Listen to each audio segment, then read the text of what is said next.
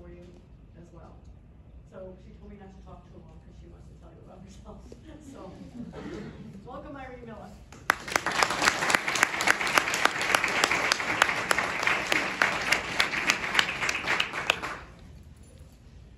I am one of the ninety percent of Jewish children who survived the Holocaust. I'm sorry, one, one of the ten percent, because ninety percent of Jewish children were killed during the Holocaust. Among the six million of Jews who were killed were a million and a half of children. Though I can tell you only about my survival journey, those of us fortunate to be left alive become also the voices of those who didn't live to tell their story. I was born in Warsaw, the capital of Poland. This is what I looked like when Nazis attacked Poland.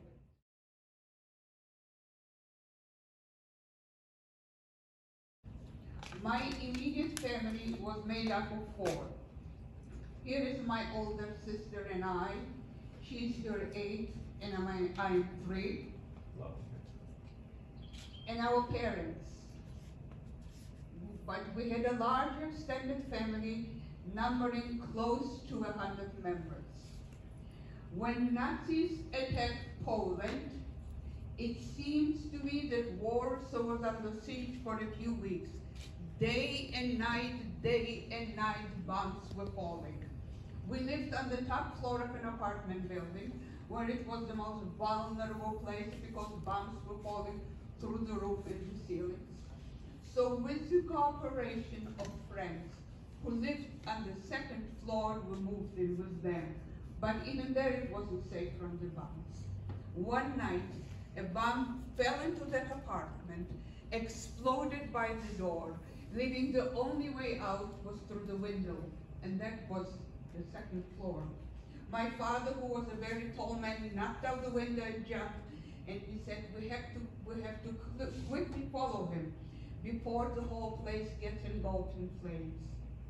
When my turn came, I stood on the windowsill and looked down.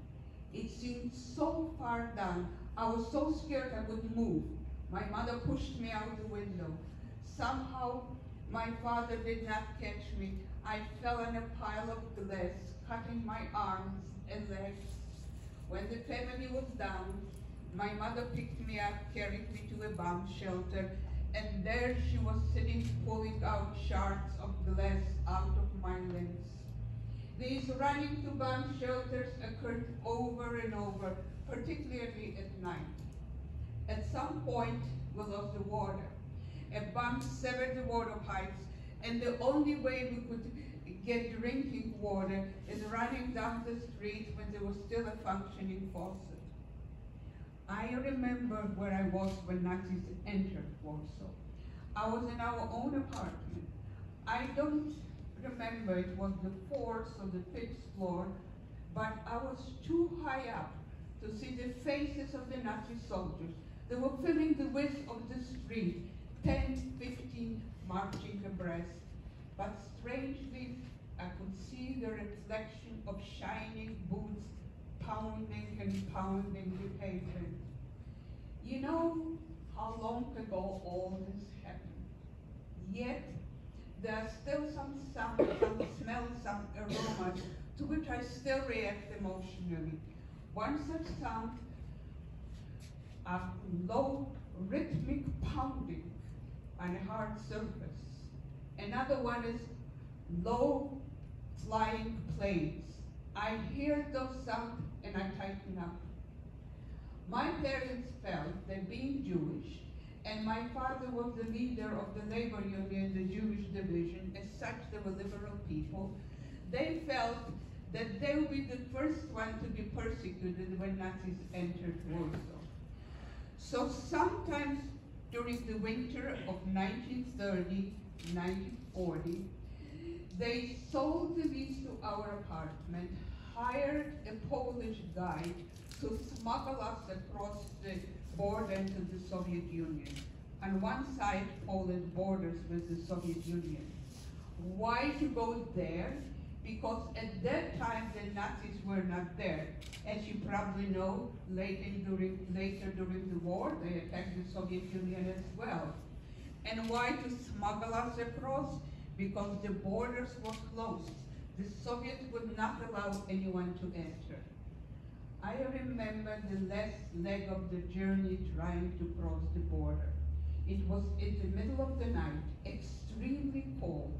We were wearing layers and layers of clothing to keep warm and also to minimize under luggage. We were sitting inside the wagon of hay, the hay over our faces and over, over our heads, and over all bed and old blanket. So should a Nazi soldier come across that wagon at night, he would not be able to see that people are in it. At some point, this man stopped, let us off in an area that was surrounded by tall trees. You couldn't see what was beyond it. He said that we had crossed already the border and pointed where in the morning we were to take the train towards the city called Bialystok. We huddled up for the remainder of the night.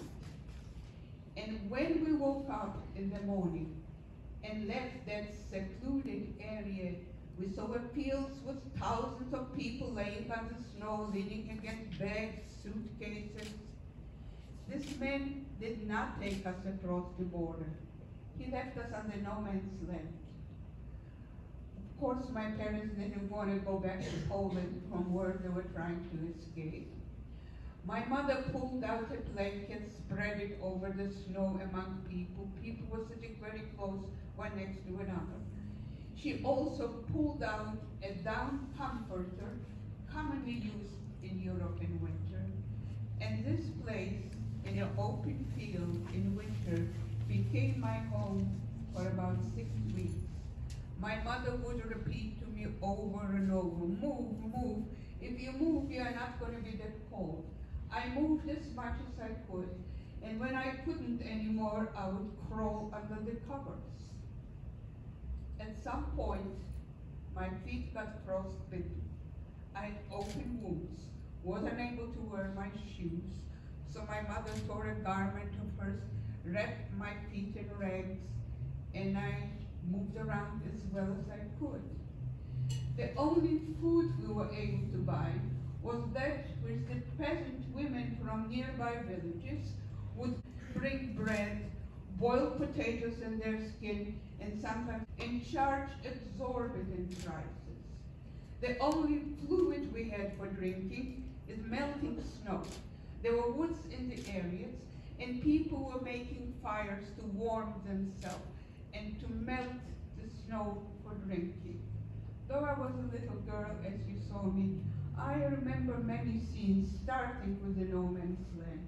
But from that period, two images are still vivid in my mind.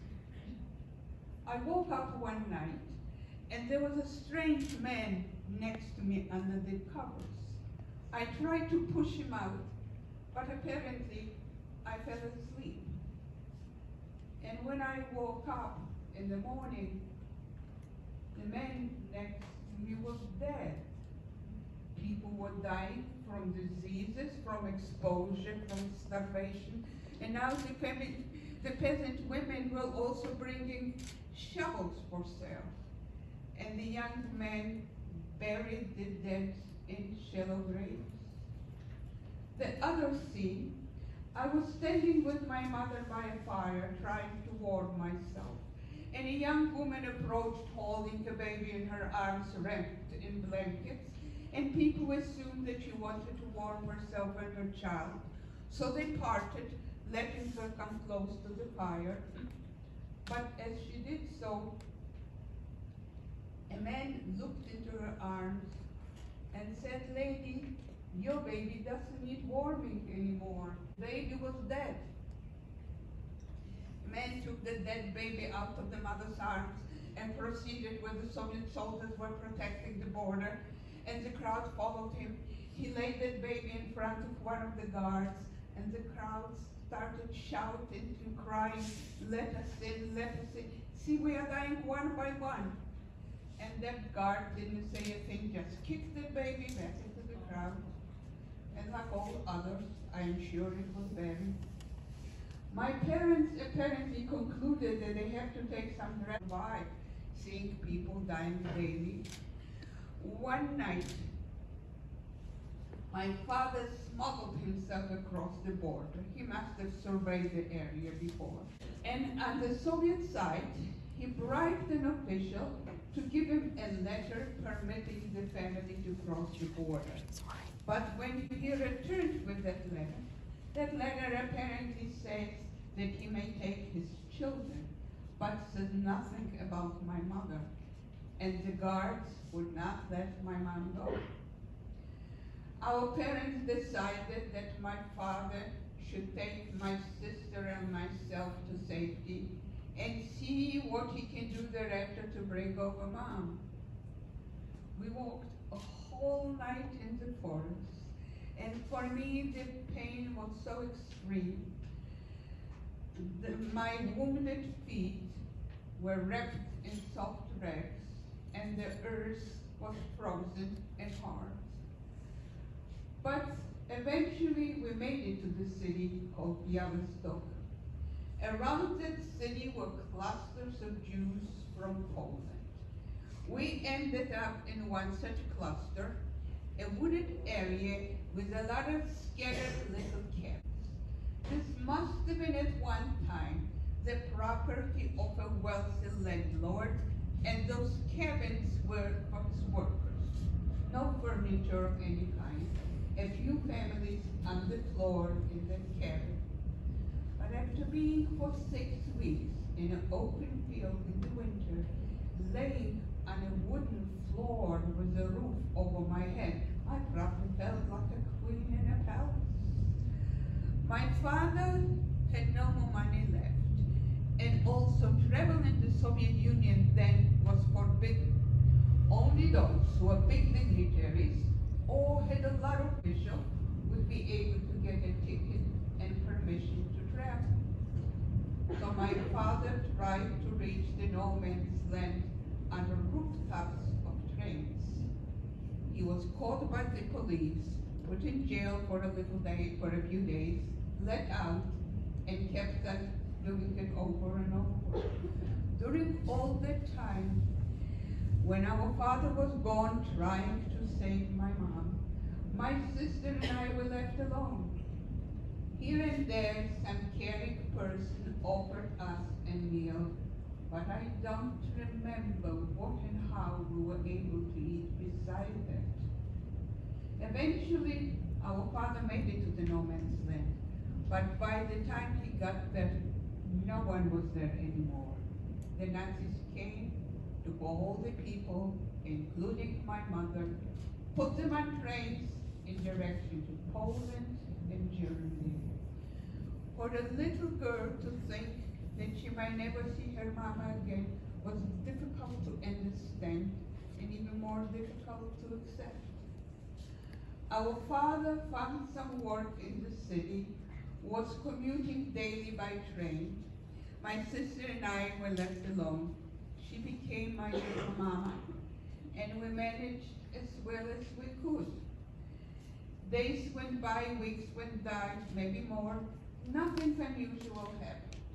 Then one day, we were standing over a basin propped up on a low stool so I could reach it as well, trying to do the family laundry. What did I know how, how to do the laundry? I spilled it on, on myself. I spilled it on the floor. My knuckles got bloody. My sister was angry.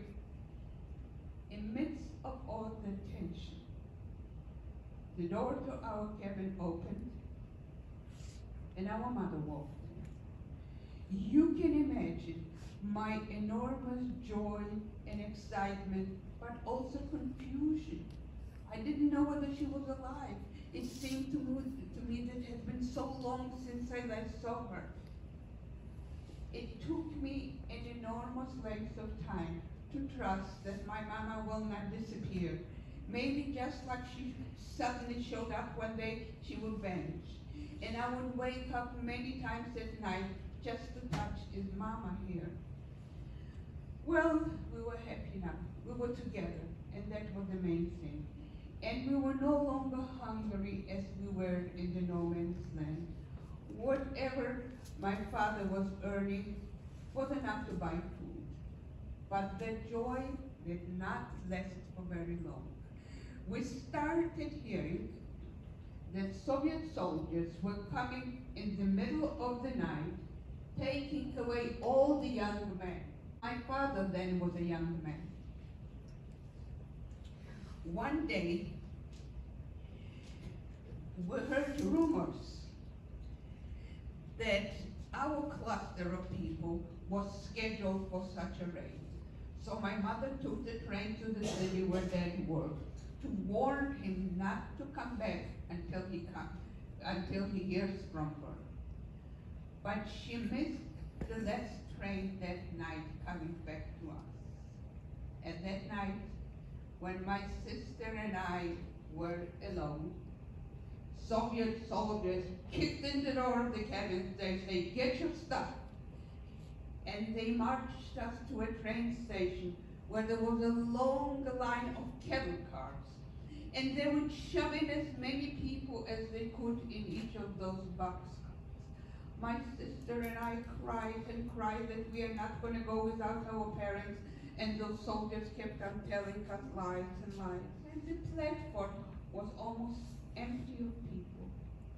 We saw from a distance a small truck and our parents on. Was I happy to see them? I didn't ask, I didn't find out how they heard about the raid, how they found transportation. All that mattered to me was they were there. And as soon as they arrived, they shoved us in in one of those boxcars.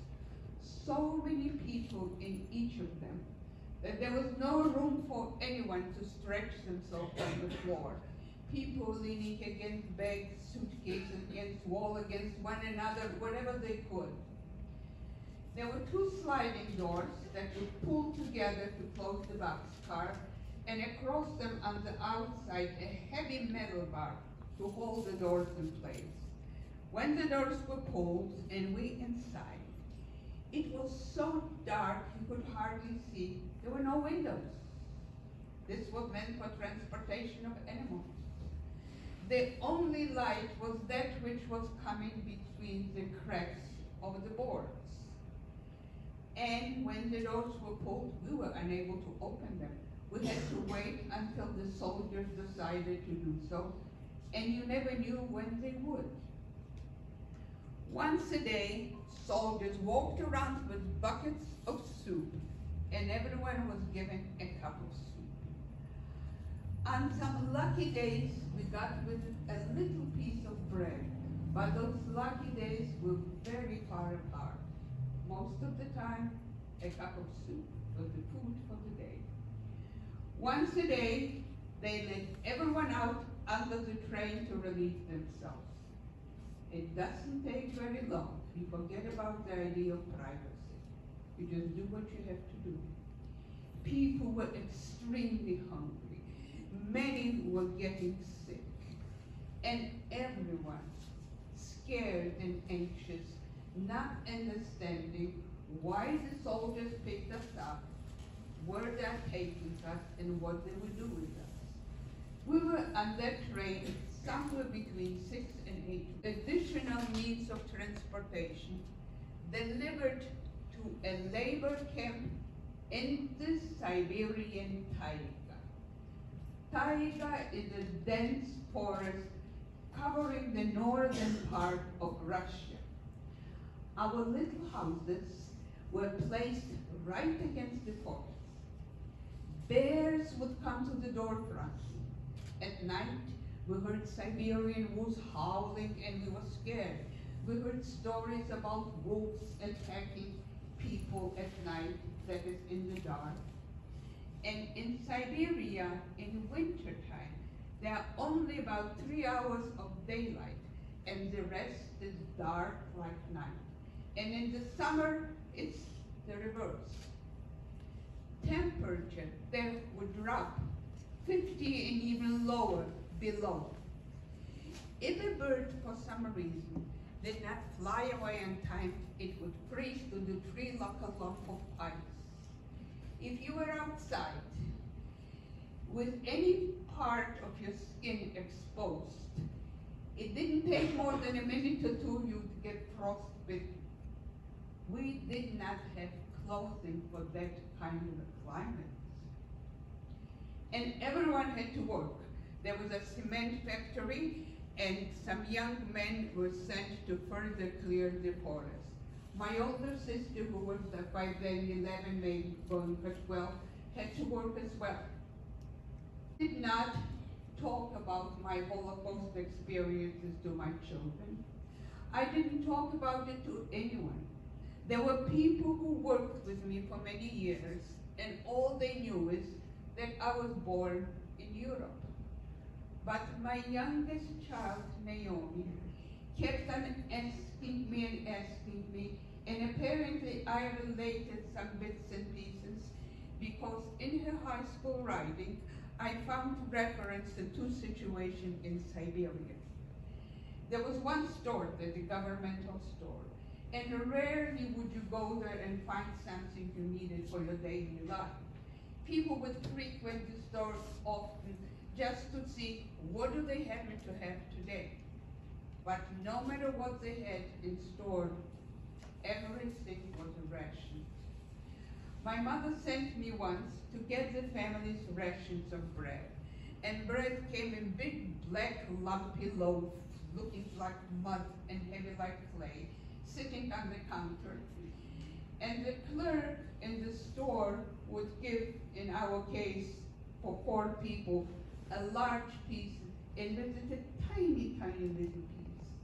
And I told Naomi of my willpower to resist my desire eating the little piece because I was extremely hungry. So Naomi said, if you were hungry, how come you didn't eat it? I told her this was the bread for the whole family, and we had to wait until Mama divided it and let us have it. But no sooner did I hand over the bread to my mother, she took the little piece and put it in my mouth. At some other time, when it was my birthday, my mother said, let's pretend that there is no war. What kind of a birthday? I told her a big loaf of bread and that I could eat as much of it as I want to. And I saw tears flowing down her face and I had no idea what did I do wrong to make my mama cry. We were extremely hungry. We were in Siberia somewhere between two and two and a half years, and I remember only one day I wasn't hungry, and I remember that day very well. We were given a tiny little piece of land, and we planted potatoes. And my mother said, on the day we harvest the potatoes, we'll have one meal that you can eat as many potatoes as you want to. On the day we brought the potatoes from the field, the store had fresh herring. So my mother got a herring, cut it into little pieces. We baked the potato on a fire outdoor and ate it with herring. Oh, was that good? I don't remember how many potatoes I ate, but I remember a thought that stayed with me thereafter for a very, very long time when I grow up, maybe I'll become so lucky that I'll be rich, not a little rich, but very rich. Then I'll be able to eat potatoes every day. I thought that to eat potatoes every day, you have to be a royalty or very rich. Well, I'm neither one or the other, but I do eat potatoes. I still like potatoes, but no potato will ever taste as good as the one in Siberia when I was so hungry. From Siberia, they shipped us to Uzbekistan. Uzbekistan then was a southern republic of the Soviet Union. Now it's an independent country. I'm sure that my parents felt that going south to a warm climate available. But while we were very hungry in Siberia, we were almost starving to death in Uzbekistan. We were put in a very small farming community. My parents were not given any land to cultivate, and there was no way of finding work. My father walked from farmer to farmer, willing to do any kind of work in exchange for food. Once in a while, he would get a day's work, but most of the time not. And boiled breads and meats. My mother would go to the field, pick up anything that was grown wildly green, boil it, drink it first herself. If she was okay with it, she would give it to us as well. There was one period that we lived on broiled onions. Have had a good crop of onion. And in exchange for some of my mother's clothing, she got a bag of onions. We all came down with malaria. Malaria is such a devastating, violent disease. You could see someone one day, he looked fine, a day or two, a week or two later, he was dead, gone. I said, violent, I had malaria. And most of the time I was not conscious because my fever was so high. But when I was, I remember screaming and crying, my bones were breaking, my bones were breaking. No matter how many layers of blankets I had over me, I felt so extremely cold that I was shivering violently. When I recovered from malaria, I had difficulty walking. There were some Jews in, from Poland in Uzbekistan. I don't know who they were and how they were able to do it, but they established orphanages for Jewish children from Poland and would recruit not just orphans, but any Jewish child from Poland. This was simply an attempt of saving the children from dying of starvation. One day, a man came to our village, talked to our parents. Next day, he showed up with a horse and buggy. Our mother told us we'll go to a place that there will be other children. Food will be more available. And they, our parents, will visit when possible. It took us a few days on the buggy until we came to the village where the orphanage was housed. The orphanage was contained basically in one room. From one end of the wall to the other, boards had been ripped off the floor, propped up on a stack of bricks, and girls were laying tightly on those boards, one next to the other, covered with old blankets, and their heads completely shaved. Across the room, the same arrangement with boys, their heads shaved as well. The caregivers shaved the children's heads because the sanitary conditions were horrible. I don't remember when and where I was able to take a bath or a shower. And they feared that under those conditions, the kids will come down with lice that spread diseases. And apparently lice nestle in hair.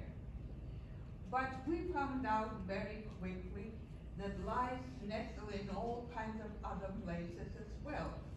Because we ended up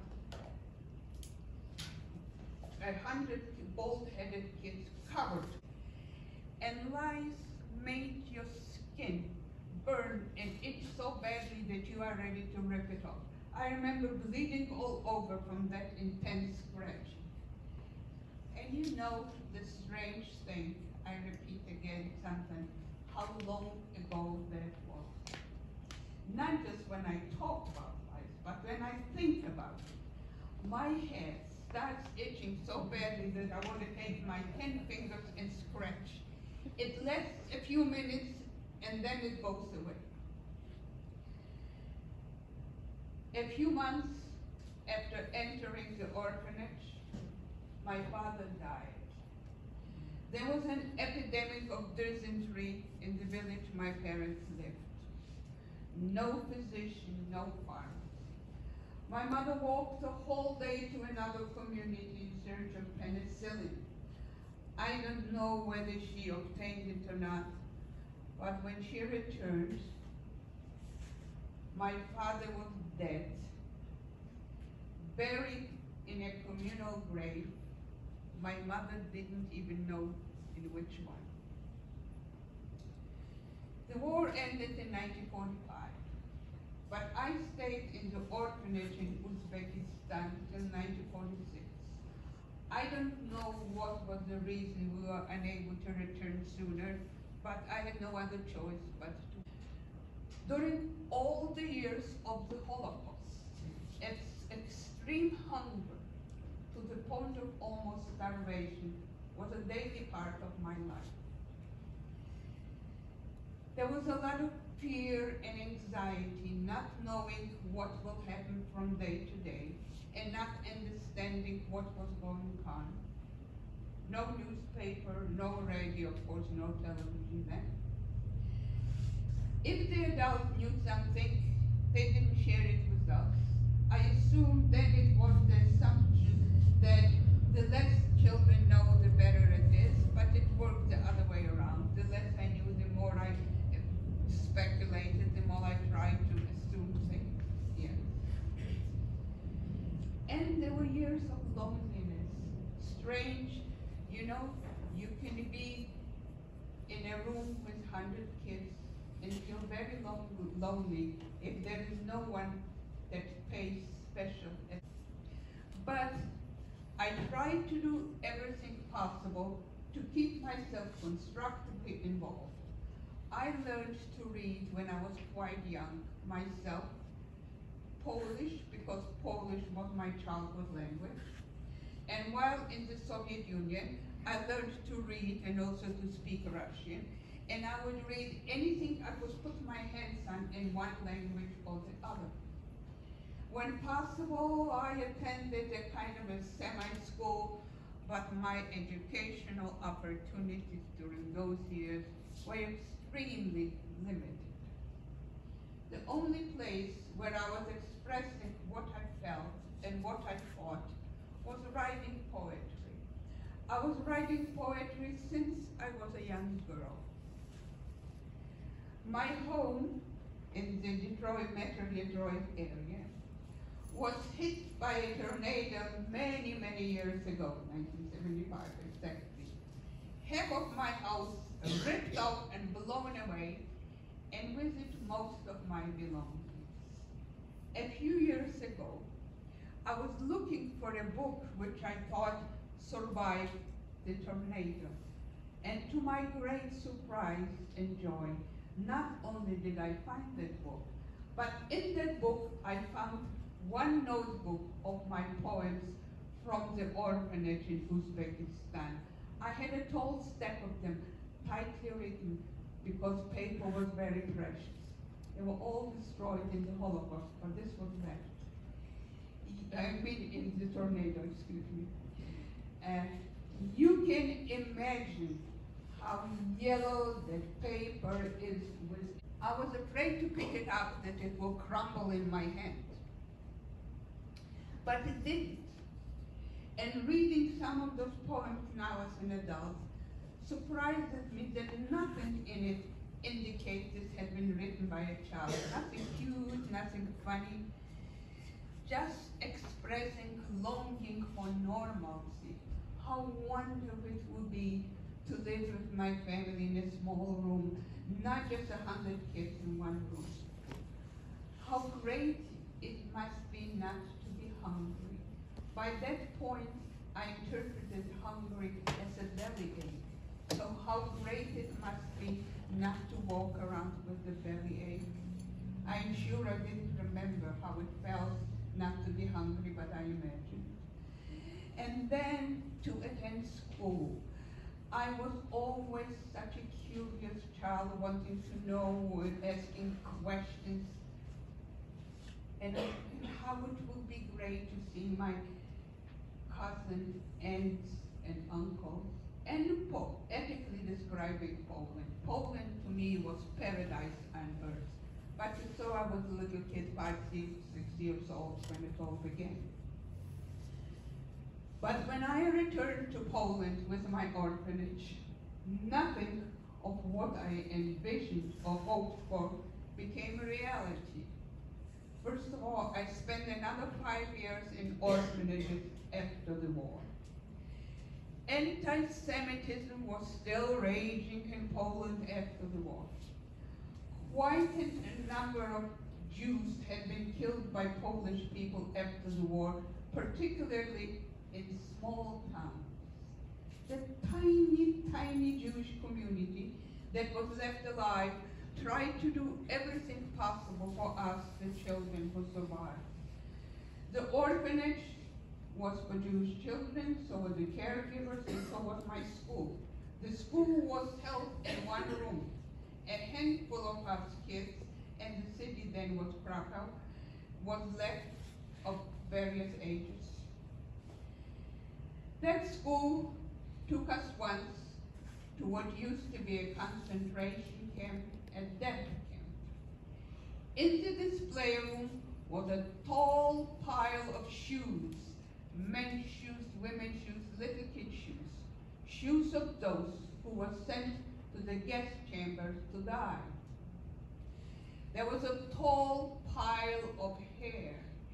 Women who had long hair they cut their hair before sending them to death, and they used the hair for various purposes.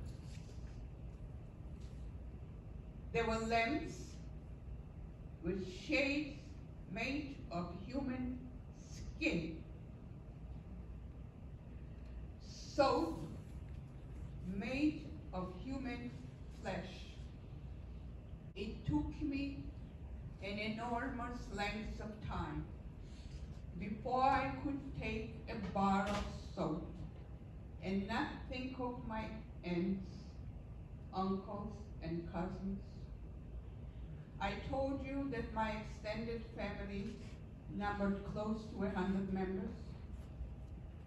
Not a single one of them survived the Holocaust. All of them had been killed. For my mother to continue living in Poland, she felt like living on the graveyard of her brothers and sisters. She and my older sister, who was by then married, she married a boy from the orphanage, they decided that they wanted to or they had to leave Poland. The only place they could go was to Israel because the Israeli government was helping Holocaust survivors who wanted to immigrate there. I did not know anything about Israel. I was extremely eager to catch up with my lost education. Within two or three academic years in one calendar year, I was like a sponge absorbing whatever I could. Though I did not live with my mother and my sister, they, they were within a distance that I could periodically take public transportation and visit them. And apparently they provided some emotional support which I needed because I did not have the courage to be left alone in Poland after they immigrated to Israel. 1950, I joined my mother to immigrate in Israel. By the way, the ruling in the orphanage was that at the age of 17, I will have to leave and take care of myself.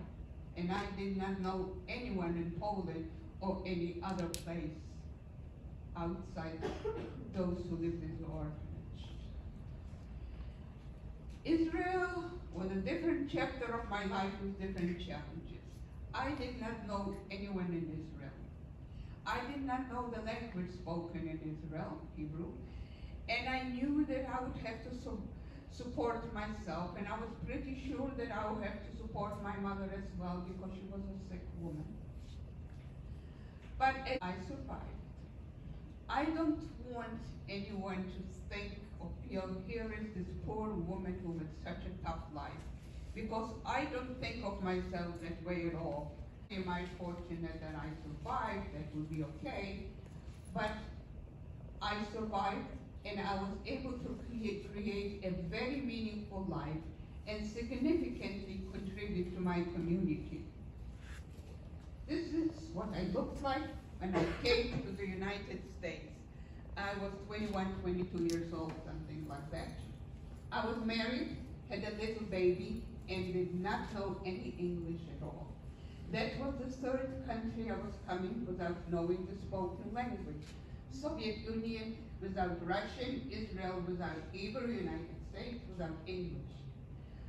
But fortunately, when I was young, I was picking up languages amazingly fast. It didn't take me too long. I entered the University of Cincinnati. I lived in Cincinnati for about 16, 17 years. I earned an undergraduate degree in psychology, then a master's in social psychology, and a few years later, I entered Xavier University, earned a second a master's, an MBA with a major in hospital management. I had very rewarding work uh, as a healthcare executive, focusing a lot on mental health and also work with the drug addiction sector. For a year, I served on an advisory committee in Washington, D.C., a committee that drag- dealt with women, children, and drug addiction. I am retired now, which I say sometimes it means I work and I don't get paid. but I do things that are extremely important to me.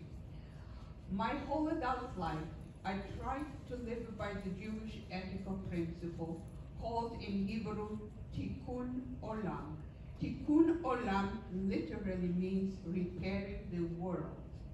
Implied in it is that we each have a responsibility to do everything we can to make this world a little better for everyone. How I do it is first of all how I relate to people in my life, personal, professional, volunteer. I respect fully and equally every good human being. Doesn't matter what the color of their skin, their religion, where they came from, poor or rich. They're good human beings. They have my full, full respect. I contribute as much as I can to support organizations that work throughout the world to alleviate hunger. Hunger not only depletes your body, but it can deplete the soul. No child in the world should go hungry. When I see hungry children in Africa, I identify with them. I see myself in them.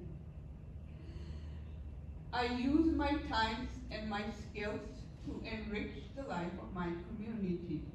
As I mentioned to you, I live in the Metro Detroit area. Maybe one of those days you decide to visit us there. We have one of the three largest museums in the nation, Detroit Institute of Art. And should I meet you there, there I'll talk to you about art, not about the Holocaust. I have been a docent for over 20 years. I'm a mediator in court, which means I help people with conflict, with legal issue, resolve it without having to appear before the judge. I'm on the board of directors of the oldest civil rights organization in the U.S. called the American Jewish Committee.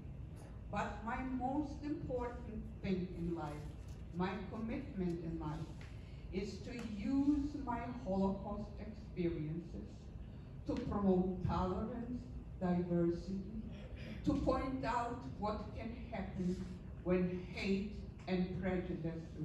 And also show you through my explanation how democracies fall from within. Hitler, the leader of fascism, was democratically elected and found ways through fear mongering, through all kinds of devious ways, found a way to become the monster we know now. We have here a lot of people in this group, most of you. You will be the future leaders of this nation. It will be your responsibility to do everything you can to prevent such horrors from happening anywhere. The only way you'll be able to do it, but to know how those things come about. Like Hitler, don't come on all at once. It is a process to which they gather support from people like them. It's a process that involves dehumanizing those whom you are attacking. Find people who would be willing to kill millions if they consider them equal human beings, but projecting them like monsters who will attack you, and you better attack them, yes.